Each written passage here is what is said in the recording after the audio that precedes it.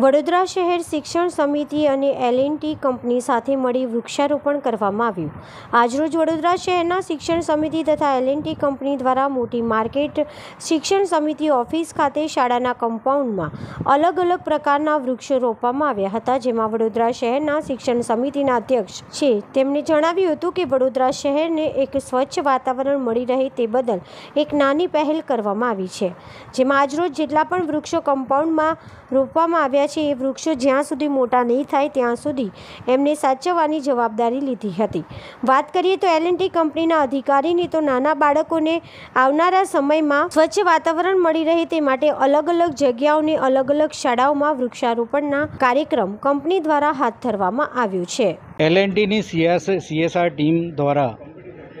Environment ડેથી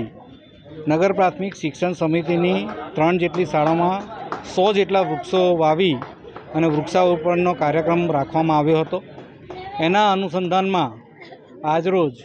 નગર પ્રાથમિક શિક્ષણ સમિતિનું હેડક્વાર્ટર એટલે કે ગોવિંદરાવ મધ્યવર્તી શાળા ખાતે એલ એન ટીની સીએસઆર ટીમ, એના સિનિયર અધિકારીઓ અને સ્કોર ફાઉન્ડેશન દ્વારા વૃક્ષારોપણનો કાર્યક્રમ રાખવામાં આવેલો છે. આ વૃક્ષારોપણ અંતર્ગત લગભગ પંદર જેટલા વિવિધ જાતિના વૃક્ષોનું આજે વૃક્ષારોપણ કરવામાં આવેલું છે. તેમાં સમિતિની સમગ્ર બોર્ડ એલ એન સિનિયર અધિકારીઓ અને સ્કોર એનજીઓની ટીમ આમાં જોડાયેલ છે અને આજે જે વૃક્ષારોપણ થયું છે, એ જ્યાં સુધી વૃક્ષો મોટા ના થાય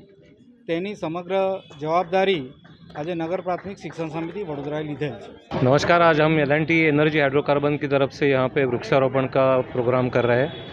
ये एनवायरमेंटल डे के ऊपर हमारा सी इनिशिएटिव है और इससे बच्चों में वृक्षारोपण की जो रिक्वायरमेंट है फ्यूचर में जिसके कारण हमारा एनवायरनमेंट बचेगा उसके कारण ये बहुत इम्पॉर्टेंट है कि ऐसे इनिशिएटिव्स हो जाए और इसकी तरफ हमारी प्रतिबद्धता कायम रहेगी